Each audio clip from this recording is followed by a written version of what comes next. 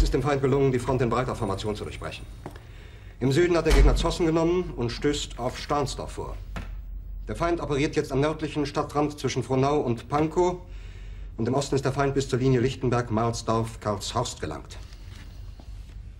Mit dem Angriff Steiners wird das alles in Ordnung kommen. Mein Führer, Steiner.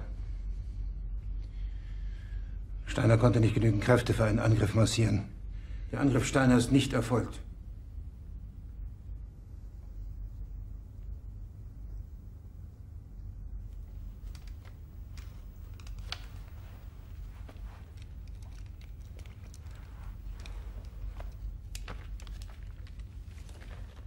Es bleiben im Raum Keitel, Jodl, Krebs und Burgdorf.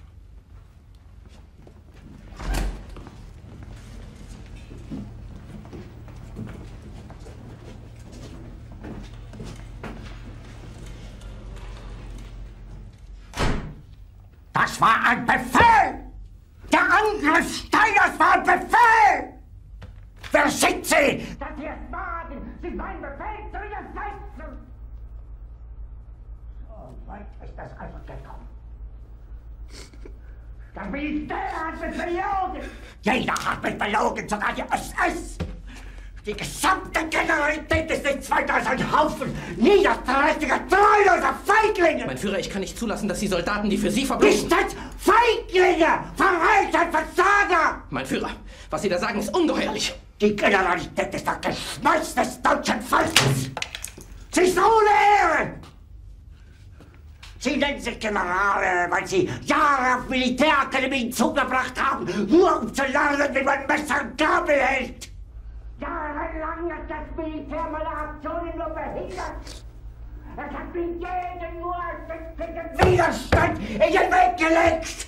Ich hätte gut daran getan, von Jahren alle höheren Offiziere liquidieren zu lassen, wie Stalin!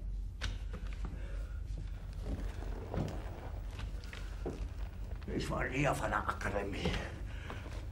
Und doch habe ich allein, allein auf mich gestellt, ganz Europa erobert. Verräter! Von allem Anfang an bin ich so verraten und betrogen worden.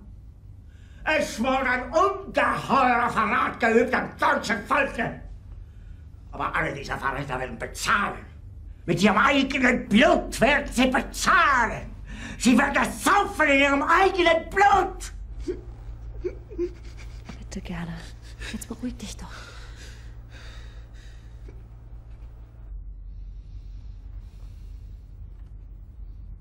Befehle sind in den Wind gesprochen.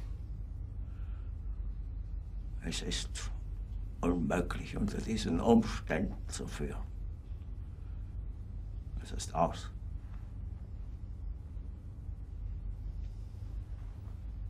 Der Krieg ist verloren.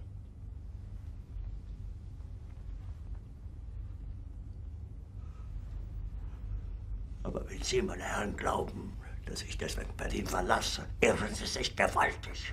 Eher jage ich mir eine Kugel durch den Kopf.